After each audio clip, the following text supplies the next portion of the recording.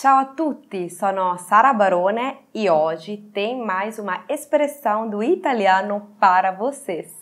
O que significa in bocca al lupo? In bocca al lupo. In bocca al lupo significa boa sorte. Então, imaginamos que você está conversando com uma pessoa e ela te fala: Hoje é o meu primeiro dia de trabalho. Oggi è il mio primo giorno di lavoro.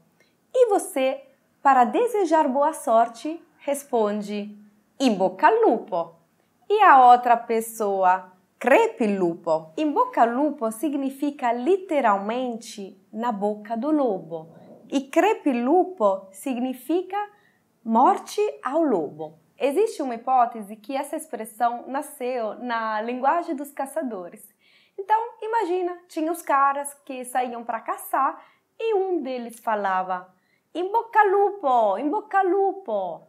Lupo, que significa lobo, era o maior medo que eles tinham. Portanto, os outros falavam: "Crepe lupo, crepe lupo". Então, em boca lupo e crepe lupo é uma forma de ter mais coragem, mais sorte, é, de afastar qualquer medo. E se você tiver sugestões de novos conteúdos, me conta! Deixa aqui nos comentários.